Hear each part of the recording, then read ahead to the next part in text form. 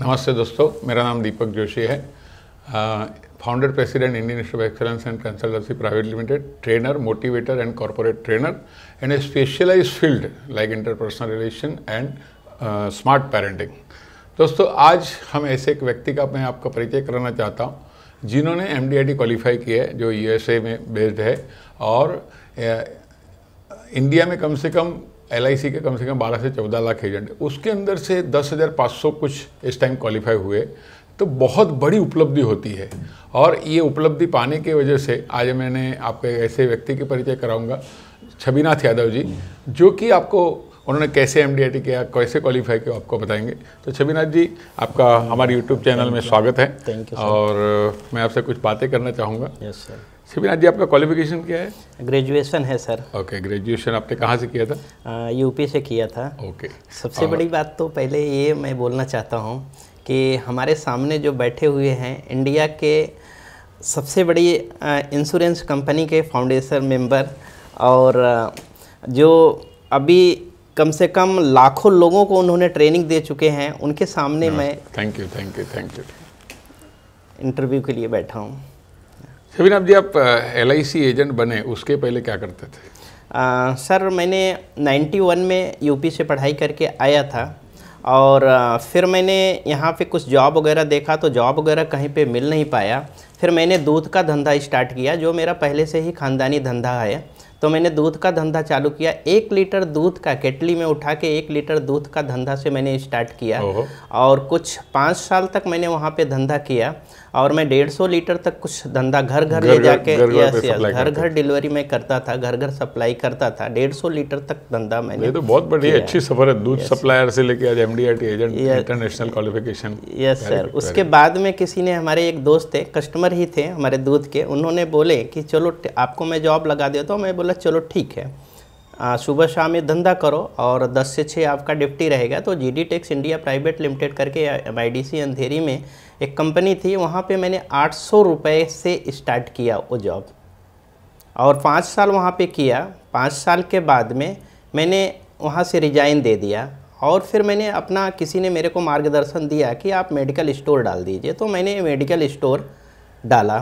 और medical store मैंने चार साल कुछ किया। उसके बाद में मेरे भाई थे छोटे भाई थे वो बीएससी किए थे। मैं बोला फार्मेसी आप कर लीजिए। और उन्होंने फार्मेसी किए तो कंटिन्यू वो बैठने लगे और मैंने पार्ट टाइम एलआईसी का एजेंसी ले लिया। और ये अ, 2001 अक्टूबर में सर मैंने एजेंसी Okay, पार्ट टाइम का लिया कैसा काम चल रहा था उसके बाद? आ, सर एजेंसी लिया तो ठीक ही था। मेरा एक्चुअली में कैसा था कि मैं कोई भी लाइन पकड़ता था जैसे दूध का लाइन पकड़ा या जहाँ मैं जॉब करता था काफ़ी लोगों को जॉब पर से में से निकाल दिए थे लेकिन हमारे को ही लास्ट okay. तक उन्होंने रखे okay. हुए थे दूध okay. का भी धंधा सर मैंने स्टार्ट किया था ना तो अच्छे मुकाम पे उसको मतलब आपने हर पे success यस पाया यस यस तो सर एलआईसी एजेंट में भी मैंने जैसे ही बना 2001 में तो वहाँ पे भी मैंने अच्छा हमारे एक फ्रेंड थे सुभाष यादव जी ने उन्होंने मेरे को लेके आए और फिर वहाँ पे भी मैंने अच्छा ही काम किया sir good good good good आप आई में कब आए? आ, सर 2006 में हमारे एक श्रीवास्तव करके हमारे दोस्त थे। उन्होंने मेरे को लेके आए। 2006 में मैंने बेसिक कोर्स किया। बेसिक कोर्स किया उसके बाद में मैं एडवांस कोर्स स्टार्ट किया। एडवांस कोर्स जैसे बेसिक कोर्स कंप्लीट हुआ फिर एडवांस कोर्स मैंने किया और बड़ा अच्छा काम हुआ मेरा। ओके। कितना कितना बढ़ोतरी हो गया आपका आ, सर बढ़ोतरी बहुत बढ़िया हुआ। okay. बहुत बढ़िया हुआ। एक मैं बताना चाहता हूँ पहले तो आई को लोग जानते नहीं थे 2006 में। तो हमारे जब दोस्त श्रीवास्तव जी ने मेरे को लेके आए आई में मुकेश सर का एक बुधवार को कुछ दो घंटे का एक सेशन था तो वहाँ पे मेरे को बैठाए उन्होंने। दो घंटे का मैंने सुना मेरे को बहुत अच्छा लगा। Okay. मैंने अपने डेवलपमेंट ऑफिसर से जाके मैंने शेयरिंग किया कि सर ऐसा ऐसा है ऐसा ऐसा एक संस्था है जो इंश्योरेंस एजेंट को ट्रेनिंग देती है और वहाँ पे कुछ फ़ीस है शायद कुछ शो टाइम पे चार पाँच हज़ार कुछ तीन दिन का कोर्स का बेस और फ़ीस था। तो मैंने उनको बताया तो हमारे डेवलपमेंट ऑफिसर शायद जानते नहीं थे या जानते होंगे आइडिया नहीं मेरे को। उन्होंने बोले नहीं छविनाथ अच्छा नहीं है तो आप जिस ढंग से आप काम कर क्योंकि मैं काम कर रहा था अच्छा काम कर रहा था। तो वो बोले नहीं ठीक है जैसा आप काम कर रहे हो आप तो मेहनत कर ही रहे हो सब चीज़ कर रहे हो तो उसकी ज़रूरत मेरे को नहीं लग रहा है कि गुड लेने लायक। हाँ सही बात। तो उन्होंने बड़े अच्छे हैं बड़े मतलब मेरे को मेरा हमेशा प्रगति देखना हाँ, चाहते थे। तो वो हिसाब से वो सोच रहे थे कहीं ये डीमोटिवेट ना हो हाँ, जाए ऐसा कुछ। हो जाए। कहीं गलत जगह पे ना यस यस यस फिर मैंने बोला नहीं सर मैं एक बार ट्राई करता हूँ। मैं आपको श्योर बोलता हूँ कि मैं कुछ ऐसा नहीं करूँगा कि मतलब प्रॉब्लम आए। मैंने गया वहाँ से मैंने लिया और वो साल सर मैंने बहुत बढ़िया काम किया एक सौ छियासी पॉलिसी हुआ। मैंने बेसिक कोर्स जैसे ही किया एक सौ छियासी मेरी टोटल पॉलिसियाँ सेल लाइफ सेल हुआ। तो मैं, मेरे को याद है कि चार पाँच एजेंट लोग बैठे थे और बोल रहे थे, सर, धंधा नहीं हो रहा है बिज़नेस कुछ नहीं हो रहा है। तो उन्होंने हमारे डेवलपमेंट ऑफिसर ने हमको सजे लोगों को सजेशन दिए। लोग बोल रहे थे, धंधा नहीं हो रहा था। उन्होंने सजेशन दिए कि, धंधा नहीं हो रहा है ना, आप शबीनाथ के साथ में बैठ जाओ, वो आपको बोलते, बताएँगे। वो मेरे साथ में बैठे कि, आपका इतना धंधा, ये कैसे हो रहा है? मैंने उनको बोला कि, आप आई में जुड़ जाइए, आप देखिए उसकी ताकत आपको कैसे होएगा। मैंने उनको सजेशन दिया उन्होंने गए फिर हमारे टीम का अच्छा धंधा होने लगा। काफ़ी लोगों को मैंने जैसे हमारे मित्र ने श्रीवास्तव जी ने हमको ज्वाइन किया सभी का बिज़नेस अच्छा होने बढ़िया फिर बिज़नेस होने लगा सर गुड गुड सर आपने एमडीआरटी कब क्वालिफाई किया? फ़र्स्ट एम सर एमडीआरटी का सीन कैसा है सर कि 2012 में आ, अपना आई का आ, ये चल रहा था। C O T T O T M D R T C O T T O T का लोनावाला में कन्वेंशन COT, TOT का सेशन था यस सर सेशन चल रहा था। वहाँ पे सर मेरे को याद है अच्छी तरह से लोनावाला में गया था और वहाँ पे मैंने आपका सेशन लिया था। और कुछ सवा घंटे का सेशन चला था और उसमें एक स्पेशल दिया गया था कि बचे हुए दिनों में MDRT कैसे करना है। ओके ओके तो सर मैंने मेरा जबकि 25 परसेंट भी एमडीआरटी का टारगेट नहीं हो पाया था 75 परसेंट बैलेंस था। Okay okay. कुछ 19 20 21 को मेरे को ध्यान में है 2012 की बात है। मैंने लोनावाला से जब आपका सेशन सवा घंटे का सुना ना तो मेरे अंदर ए, मतलब बहुत एनर्जी आ गई पावर हो गया कि मैं कर सकता हूँ। ये कौन से महीने में था? ये सर अक्टूबर महीने का था। हाँ उन्नीस बीस इक्कीस का कुछ तारीख था। वहाँ से मेरा एमडीआरटी का जो विचार था वो बदल गया। सर सवा घंटे का आपका सेशन था। मेरे को मालूम है लंच के बाद का आपका सेशन चालू हुआ था और सवा घंटे का सेशन था। आपने जो बातें बोली जो स्पीच दिए वो मेरे मतलब पूरा एक हाँ जहन में एकदम पूरा मतलब वो आ गया कि यस मैं दिसंबर के पहले पहले पहले पहले आपका सोच नहीं था कि वो टाइम कर सकते नहीं था सर कि हम एम कर पाएँगे। Okay. फिर मैंने इमीजिएट आपके सामने कमिटमेंट किया कि 19 दिसंबर को क्योंकि मेरे बेटे का बर्थडे रहता है उस तारीख को 19 दिसंबर को मैं एमडीआरटी कर वेरी गुड वेरी गुड तो ऐसे कोई फैमिली के कोई इंस्पिरेशन जो लव्ड वन के नाम पे हम करना चाहते हैं उसकी डेट पे तो जल्दी हो जाते हैं। तो सर मैंने 19 दिसंबर का किया और आपको बताया भी कि सर मैं 19 दिसंबर को. कर लेता हूँ। अच्छा इमीजिएट वो सेशन जैसे ही ख़त्म हुआ तो मैंने इमीजिएट सबसे पहले राकेश को मैंने अपना कार्ड दिया। मैं बोला पैसा तो ले लो और मेरे को कमिटमेंट कोर्स ज्वाइन करना है। इमीजिएट मैंने उसको पैसा दिया मैंने वहाँ पे ज्वाइन किया कमिटमेंट कोर्स और सर आपकी मेहरबानी से आपके स्पीच की वजह से मैंने एग्जैक्ट 19 दिसंबर को मैंने टी डिक्लेयर कर उन्नीस दिसंबर डिक्लेयर 2012 कर दिया यस डिक्लेयर कर दिया। और 26 तारीख को बुधवार था मेरे को मालूम है 2012 का दिन था। वाह, वाह, वाह। 26 तारीख को। और उस दिन मैंने सीसी ज्वाइंट मतलब पैसा पूरा नहीं दिया था इसके लिए वहाँ पे सेशन में जाना वो नहीं था। 26 तारीख को मैंने वहाँ पे गया और उस दिन मेरा एम डी कंप्लीट हो चुका था। First M D.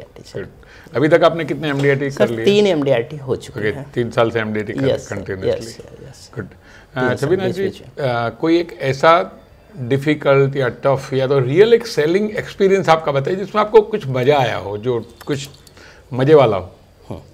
आ, सर एक मेरा दोस्त था उन्होंने रेफरेंस दिए कि एक आप गिरीश जी हैं और इनके पास में जाइए और पॉलिसी की कुछ उनसे वो करना बात है। बात कीजिए।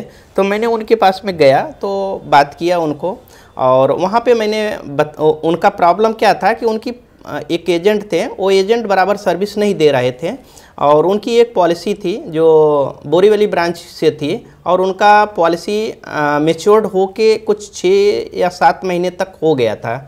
सात महीने से उनका पॉलिसी मेच्योर्ड हो गई थी और वो आए नहीं थे तो मैंने गया सबसे पहले उनकी जितनी भी पॉलिसियाँ वगैरह था जो भी इन्वेस्टमेंट था मैंने वो उनसे बात किया। तो उन्होंने देखा पेपर तो उनकी पॉलिसी मेच्योर्ड हो चुकी थी। मैंने मेरे बैग में मेच्योरिटी का वो था। इमीजिएट मैंने उनका फॉर्म पे सिग्नेचर लिया जो भी डॉक्यूमेंट्स चाहिए के वो मैंने उनको पैन कार्ड आधार कार्ड उनका कैंसिल चेक ओरिजिनल पॉलिसी वगैरह सब कुछ लेके उन्हें उनको कंप्लीट कर दिया। फिर इमीजिएट मैंने उनसे बात किया कि सर ऐसा ऐसा प्लान आया है जीवन उमंग 845 नंबर प्लान है। उसके विषय में मैंने उनसे बात किया तो बोले हमारी पॉलिसी तो है हमारे भाई का एक निकाल दीजिए। तो उनके छोटे भाई हैं ज्वाइंट फैमिली है एक ही कंपनी में दोनों जन काम करते हैं। तो वो भाई का इमीजिएट वो ट्वेंटी फाइव लाख का पॉलिसी मंथली मोड पे ग्यारह हज़ार सात सौ रुपया जिसमें वो टर्म राइडर भी डाले थे ग्यारह हज़ार सात सौ का इंटू टू का वो चेक हमको इमीजिएट बना के वो दे दिए। फिर हुआ क्या उनके साथ में कि दो साल दो सॉरी दो महीने तक वो मेरे से मतलब मैं फ़ोन करता था बट वो मेरे से मिल नहीं पाते थे। यानी मैं बाहर हूँ यहाँ हूँ वहाँ हूँ कहीं कंपनी के काम से कहीं बाहर बीच में गाँव भी चले गए थे। अच्छा दो महीने के बाद में मेरे को जब बुलाएँ तो दरमियान क्या हुआ कि उन्होंने एक पचास लाख की पॉलिसी उनका जो पुराना एजेंट था कहीं से कंटेक्ट किए होंगे तो पचास लाख की पॉलिसी वो उनसे ले चुके ले। थे। अपने नाम से वो ले चुके थे। तो मैंने, मेरे को बताएँ कि ऐसा ऐसा है छविनाथ हमारे जो पुराने एजेंट थे, उन्होंने मेरे को आए, बताएँ और पचास लाख की पॉलिसी वो मेरे को दिए बताने लगे, मैंने बोला, बहुत अच्छा सर, बहुत बढ़िया, आपने ये प्लान लिया ना, बेहतरीन प्लान है। जबकि उनके लड़के को मैंने उसके पहले मैंने दे चुका था एक करोड़ का प्रेजेंटेशन दे दिया था। तो मैंने उनको अप्रिसिएट किया नहीं सर बहुत बढ़िया आपने ये चॉइस किया ठीक है किसी से भी लिए कोई फ़र्क नहीं पड़ता लेकिन आपने लिए। बट आगे जो भी प्रॉब्लम होएगा कुछ भी सर्विस से रिलेटेड कुछ भी तकलीफ़ होता है सर मैं मैं हूँ मैं बैठा हूँ। अच्छा वो बात से उनको बड़ा अच्छा लगा। उनको मन में शायद ये लग रहा था कि छविनाथ नाराज़ हुए प्रेजेंटेशन इन्होंने दिए थे मेरा सर्विस इन्होंने किए और मैं पॉलिसी दूसरे से लेकिन मैं ज़रा सा भी नाराज़ नहीं हुआ। मेरे को अच्छा लगा जिस ढंग से मैंने उनको अप्रिसिएट किया। उनको बड़ा अच्छा लगा कि नहीं बहुत बढ़िया है बड़ा अच्छा है। अच्छा इमीजिएट फिर उनको माइंड में ये आया कि ठीक है मेरा तो हो चुका है। आप एक काम करो मेरे भाई की वाइफ का मेरे वाइफ का मेरे दो डाटर हैं वो दोनों जन का आप एक एक लाख रुपए का बना दो। इमीजिएट सामने से बोले। और इमीजिएट मैंने एक एक लाख का हाफ़ ईयरली मोड पे वो लोग का मैंने प्रेजेंटेशन करके कंप्लीट उनका मैंने करवाया। अच्छा दूसरा अभी भी उनका मेरा चल रहा है एक करोड़ का जो बेटा उनका है एक ही लड़का है और लड़के का मैंने एक करोड़ का मैंने दिया हूँ।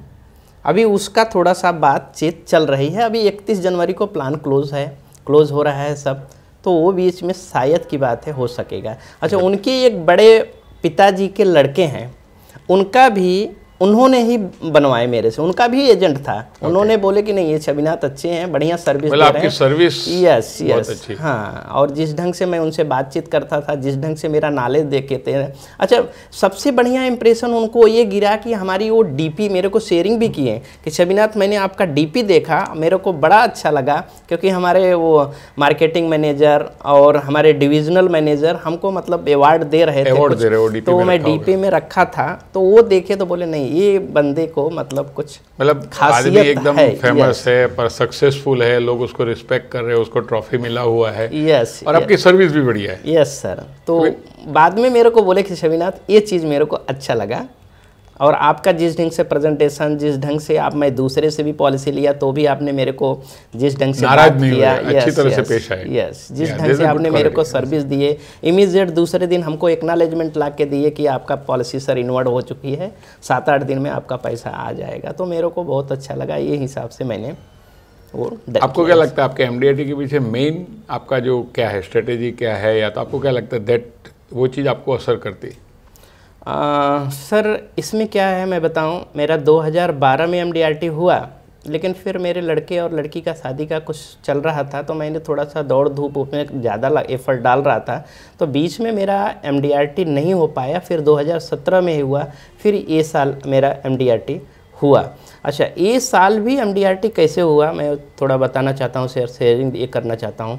कि पाँच सितंबर ये पाँच नवंबर को मेरे को मालूम है मैं सीसी में कमिटमेंट कोर्स में दादर में वहाँ पे गया था बैठा था। आपका सेशन था। ओके। okay. आपके सेशन में यही चीज़ें बताया गया कि क्लोजर चल रहा है। जिस ढंग से आपने कुछ पौने घंटे का सेशन दिए थे वो पूरा मेरे मतलब और मेरा मैंने कमीशन निकाला था कुछ ब्रांच में जाके पाँच लाख एक हज़ार यानी फिफ्टी परसेंट ही मेरा कमीशन हुआ था। तो कहीं ना कहीं मेरे माइंड से वो चीज़ निकल गया था कि ये साल भी मेरा एमडीआरटी शायद नहीं हो पाएगा। काम तो वर्क कर रहा था लेकिन मन माइंड में ये चलना चालू हो गया था कि नहीं हो पाएगा।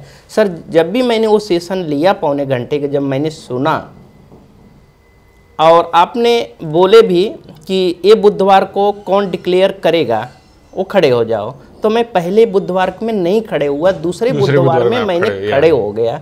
और सर दूसरे बुधवार के पहले मेरा सबका सब प्रीमियम जा चुका।